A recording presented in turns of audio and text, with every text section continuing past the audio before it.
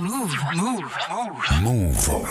Salut, c'est Yasmina pour Move très Actu. Aujourd'hui, je vous emmène voir des graffitis au château de Vincennes. Laure Pressac, tu es la commissaire de l'expo et il y a des graffitis ici. Bah oui, pourquoi pas du graffiti au château de Vincennes, dans un grand donjon, quand ce donjon était une prison. C'est l'heure d'y aller. L'exposition, elle s'appelle Sur les murs, histoire au pluriel de graffiti, parce qu'elle vous invite à une promenade, à un regard différent sur euh, les graffitis, et elle vous raconte non pas la grande histoire avec un grand H, mais celle de tous les hommes et toutes les femmes qui l'ont faite, qui ont laissé des graffitis en racontant leurs histoires. Donc ce qu'on a essayé de faire ici, c'est on a mis dans un cadre un graffiti très beau de cette salle, qui est euh, celui de François-Henri de Puefuel, qui date de 1672. On le voit dans le petit angle en haut à droite, il y a la date qui est marquée. Et cette date, c'est celle du 12 avril 1672, qui est celle de son incarcération quand il a été emprisonné euh, par Louis XIV, donc dans le château de Vincennes.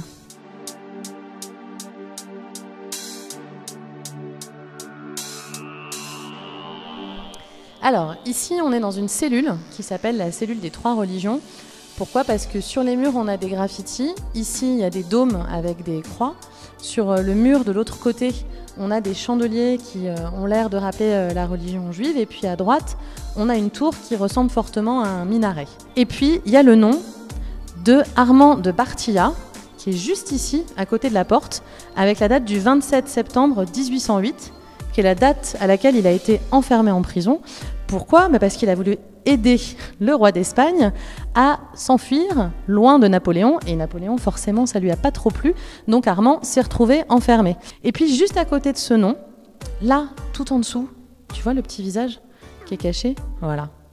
Ça, c'est un très beau graffiti qui est dans l'angle de la porte mais on ne sait pas très bien dire qui c'est. C'est peut-être Armand qui a laissé son visage, ou c'est peut-être celui qui a fait les dessins que tu as vus juste avant avec les dômes, les croix et, et la tour. C'est ça qui est chouette dans le graffiti, c'est qu'on en découvre toujours. Et si tu laisses ton regard un petit peu se balader sur les murs, tu vas découvrir d'autres images, d'autres couleurs, d'autres noms et encore d'autres histoires euh, qui se racontent sur les murs du château de Vincennes à différentes périodes. L'expo de Vincennes, c'est une expo parmi euh, huit autres qui euh, se déroulent dans toute la France dans les monuments du Centre des Monuments Nationaux. Ici, on montre toute la richesse des graffitis, des graffitis d'un certain nombre de monuments. Et puis, on a voulu aussi un petit peu parler des liens du graffiti avec l'univers du hip-hop et avec toute la production euh, de films et de musique des années 90.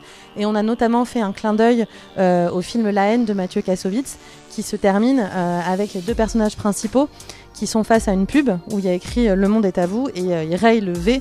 Et ils mettent N parce que en vrai, le monde est à nous et c'est ça que le graffiti traduit comme message. Euh, on s'approprie le monde, on s'approprie l'espace. Voilà. Tu es connecté sur Move.